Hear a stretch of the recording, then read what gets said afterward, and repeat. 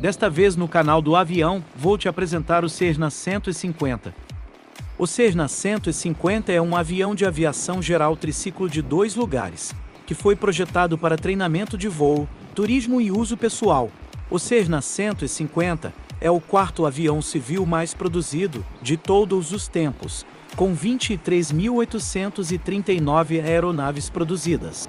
O Cessna 150 foi colocado à venda nos modelos 150 básico, Commuter, Commuter II, Patrol e Aerobat. Esta aeronave foi fabricada em 1970 pela Cessna Aircraft para treinamento básico de voo.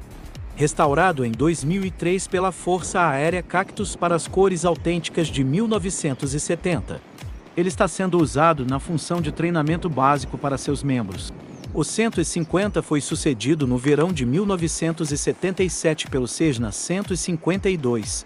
O 152 é mais econômico para operar, devido ao aumento do TB o tempo entre a revisão do motor Laika Minu 235.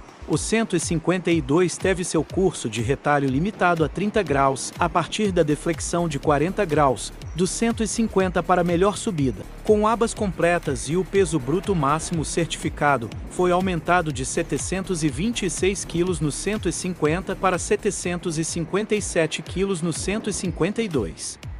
Se você gostou do vídeo, não se esqueça de se inscrever no canal. Deixa seu joinha. E assista também o canal do Avião Lives, todos os dias das 4 da manhã às 8 da noite. Estamos também no TikTok. Canal do Avião SDCO, S, O, D.